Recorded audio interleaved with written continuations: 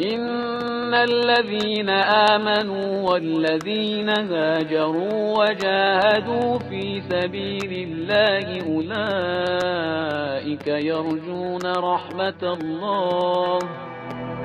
والله غفور رحیم کسانی که ایمان آورده و کسانی که هجرت کرده و در راه خدا جهاد نمودند آنها